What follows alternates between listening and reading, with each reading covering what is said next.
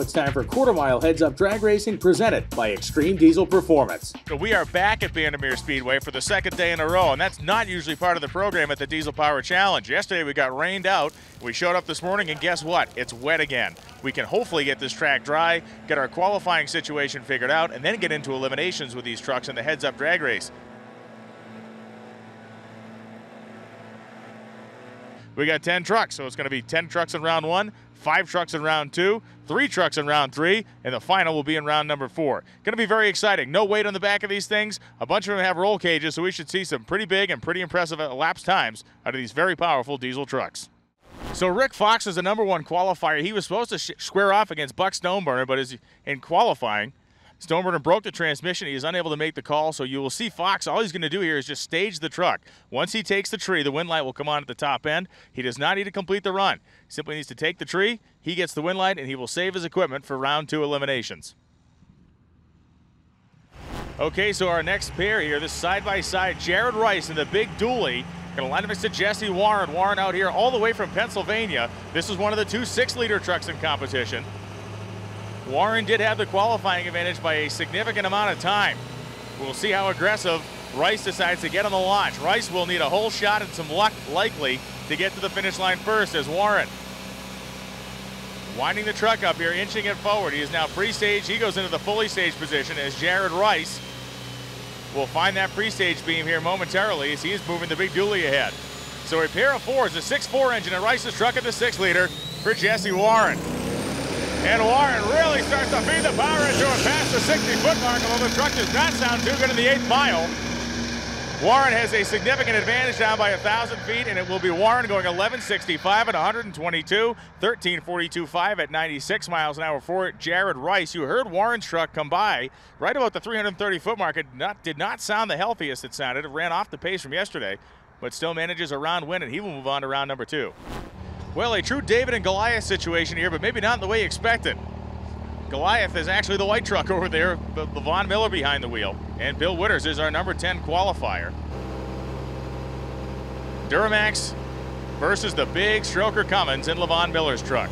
And you can hear the turbos light off under the hood of Levon Miller's rig.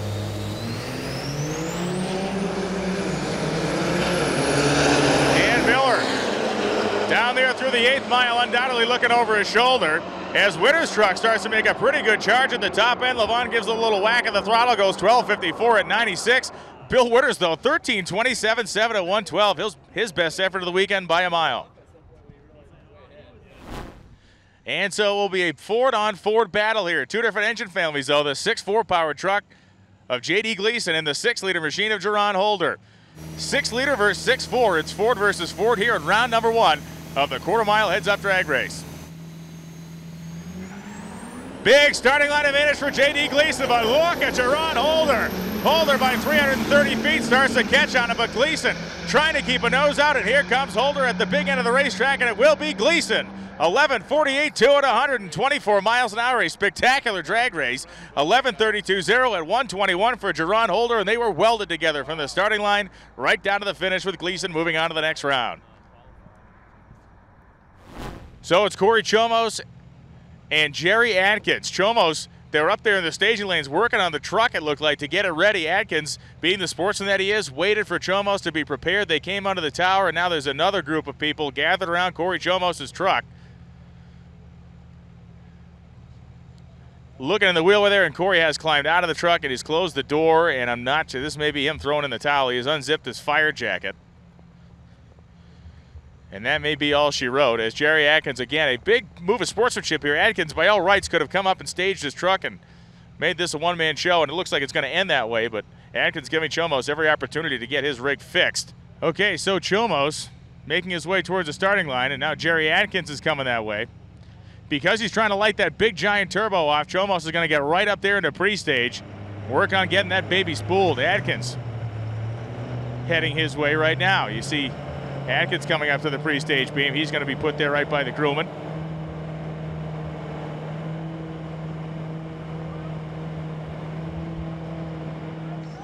And once again, Chomos going to be shut off on the starting line.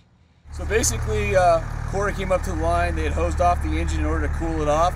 So we thought it was just water. Last minute, I looked down, I saw it dripping. We had to, you know, cancel his run because he's got uh, oil coming out. So that's uh, that's why he had to back out of the run. So Jerry Atkins, we'll see if his uh, plan is going to be break the beams or run her through. The plan is going to be to break the beams. Again, you want to save the equipment here. It is uh, these trucks make immense amounts of horsepower and torque. We've already seen one truck break, so if these guys can get around win without having to kill their stuff, they're of course going to take the opportunity. So here's the deal. Rick Fox, by nature of the fact that we had an odd number of trucks, gets the bye run in round two. You may be wondering, well, he had the bye run in round one. In fact, he didn't. He was supposed to be racing Buck Stoneburner in round one. Stoneburner couldn't make the call. And as it shakes out in round two, Fox is the number one qualifier, earns the bye. So he's just going to roll up and break the beam. He doesn't have to do a full run since he's not competing against anybody in this round. So basically, to save the truck and make sure he doesn't break on a full run, he just has to start the beam. So he's broken it. Now he's backing out. We'll go on to the next one. Jerry Atkins is coming now. This is the Ram. Atkins will be facing off against Warren. Now, Atkins was able to get by the first round because of Corey Chomos had the problems. A lot of interest around these six liter trucks in the competition this year. There are two of them, as we've talked about Jerron Holder and Jesse Warren. They both did well in the dyno. They both did pretty well in the trailer towing obstacle course and the eighth mile trailer tow. And they are really flying the flag for the six liter crowd. There are millions of these trucks on the road. And the six liter Ford guys would love to see one of their own knock off a Cummins truck. Jerry Atkins does not want to let that happen. Both of these guys are experienced drag racers. Reaction time should be good. They both understand the nature of the game up here. Warren has a run down the track already. He knows how hard he can come out of the hole without busting the tires loose.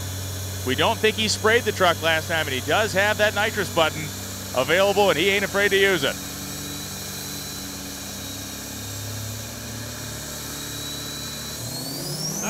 Good reaction times, and here they come. Both trucks side by side past 330 feet. You can see the exhaust start to clean up as Warren hits the nitrous button, and it looks like Warren's going to have enough, and he does. 11 12 at 129 miles an hour for Jesse Warren. Upends in 11 19 1, 128 mile an hour charge for Jerry Atkins. Score one for the six liter crowd. So it's Levon Miller and J.D. Gleason coming now. Gleason in the 6.4 liter Ford, and Miller in that familiar white Ram. One of the big things uh, separating these two trucks, the fact that Miller's truck has a roll bar in it. Gleason's does not. So if we look at an NHRA rule book, we think, well, you go faster than 1149, you got to have a bar in the truck. That may be a problem because we have already seen Miller's truck run well below that number. That being said, we've also seen guys spread their guts out on the starting line this week. So you never know what's going to happen as we get ready to go down the racetrack here. Gleason's truck, pre-staged. Levon Miller pre-staged. Miller's the first to go all the way in, and here comes Gleason. They're off. Oh, a huge starting line advantage for, for Levon Miller. And Miller not going to work the truck too hard. Knows he has him covered. Miller goes 11 38 6 122. And Gleason goes 11 72 8 at 121 miles per hour. So here we go. It is going to be Rick Fox and Jesse Warren. Warren, of course, ran an 11-12 the last time down the racetrack. The one variable here is Rick Fox has not had to make a run under power today. So Warren has made two. He knows what the starting line is like. He knows how hard he can come off the out of the hole, and maybe he makes figures out a way to get to that 60-foot cone quicker than he has earlier. Fox is going to go off what he did yesterday, and by all rights, this track may actually be better than it was yesterday. So we had some good preparation on it, and the starting line has not been abused like it was when we were doing the trailer tow. Because of this rain delay, it has certainly changed the way this whole thing has played out. And Fox oh, may have his hands full here, more than he expects, with Jesse Warren. Warren did not come all the way from Pennsylvania to come up short and not make the final round. So you can bet he is going to throw everything, including the kitchen sink, at that black Dodge of Rick Fox.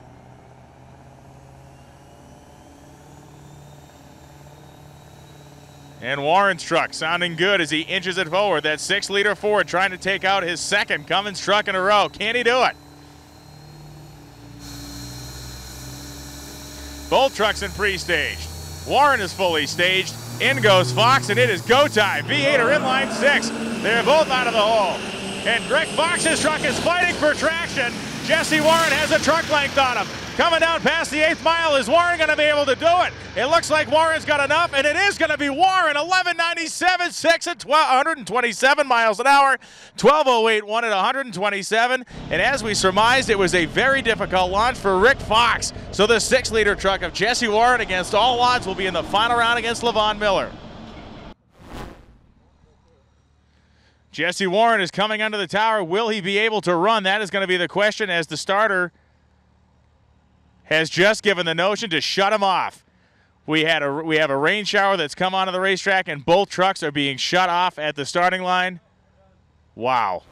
All right, well, Levon Miller, normally when we talk to the winner of a drag race, we talk elapsed times, but today we're going to talk sportsmanship because the final round of this race, you're ready to go. You wait on your competitor. The rain started falling. You end up being declared the winner because of your qualifying position, but you you waited and you you had the opportunity to jump in stage, but you waited. Tell me why.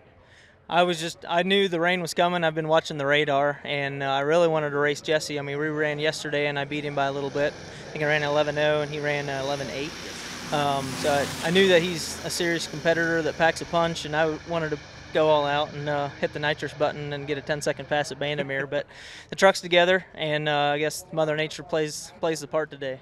Well, you had a very strong it's technically still day two, I guess, because we're finishing up day two. But this day two is your day, man. You looked great in all three events. Yeah, very fortunate. Uh, everything worked out on the obstacle course and the trailer tow. Nothing to complain about. Very blessed. So get to head over to Adams, go do some sled pulling, and uh, you can let this girl eat one more time this week. I guess so. Go sled pull and then uh, make my crew clean the truck again. Thanks, man. Congratulations. Thanks.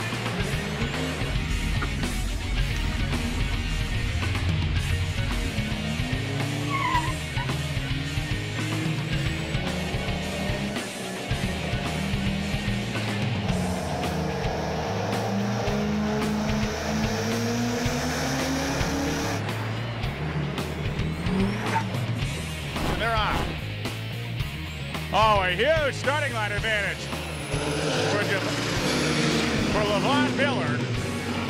And Miller not going to work the truck too hard. Knows he has him covered. Miller goes 11.38.6, 122. And Gleason goes 11.72, 8 at 121 miles per hour.